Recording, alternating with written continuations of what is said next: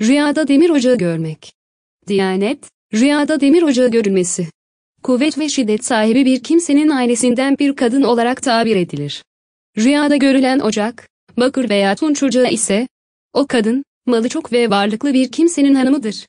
Rüyasında ocakta ateşin parladığını gören kimsenin bir çocuğunun olacağına işaret eder. Nablusi, rüyada demir ocağı görmek, kuvvetli ve şiddetli bir kimsenin ev halkından bir kadındır.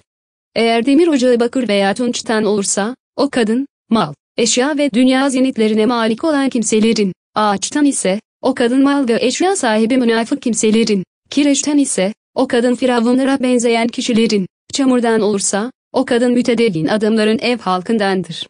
Demir ocağı, devlet ve işsiz kalma ve gerilemeye de delalet eder. Bir kimse ocakta veya tandırda alevli bir şekilde yanan ateş görürse, rüya sahibinin meydana gelecek evladına delalet eder. Ocak ev işlerini yürüten kimseye delalet eder. Bundan dolayı üzerinde yemek olmadığı halde ocak üzerinde ateş yaktığını gören kimse, ev işlerini yürüten bir kimseye düşman olmaya delalet eder. Eğer tabirde ocakta bulunan çömlek ev, dış işlerini yürüten bir kimse ve iç işlerine bakan bir kadın murat edilirse, ocak, o kadının günah ve helal olmayan amellere karşı göz geren, meşakkat ve kazanç ateşiyle yanıp yakılan kocasıdır. Kadın ise mesıçır ve süsüyle oturup hükmünü yürütür. Bazen de ocak zevceye, üzerindeki çömlekte kocaya delalet eder. O kadın daima sözüyle, kocasını yakar. Geçimi için kocasına hücum eder. Kocası da hanımının bu durumundan müteessir olarak alt üst olur. Ocak ateşsiz ise, üzüntü ve kedere, ateşli ise ihtiyaçları gidermeye ve rızıklara delalet eder.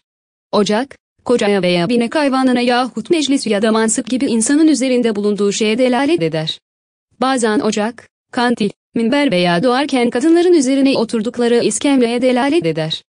Bazen de ocak, çocuğa veya anneye yahut çocuğunu sırtına alan kadına, yahut rüya sahibinin arzu ettiği şeylerin temin edildiği dükkana yahut üzerine bindiği bineğine veyahut da eve inecek veya evden gidecek kimse için eve delalet eder. Ocak, Aralık ve Ocak aylarına da delalet eder. Rüyada bir ocağa malik olduğunu veya ocağı gördüğünü gören kimse bekarsa, evlenir. Evli ise ve ocak üzerinde de çanak varsa, ha, namı hamile kalır. Eğer bu rüyayı gören kafirse Müslüman, fasıksa tevbe eder. Çünkü ocak, ateş bulunan yerdir. Ateş ise korkutucu ve hidayettir. Rüyasının tabiri için yanımıza bir kimse gelerek, rüyamda bir ocak gördüm onda bir miktar ateş ve onun yakınında bir odun vardı, dediğinde ben onu, ocak senin midendir. Odun geçen gece yediğin ahır yemektir, şeklinde tabir edince o kimse, evet efendim öyle oldu, dedi.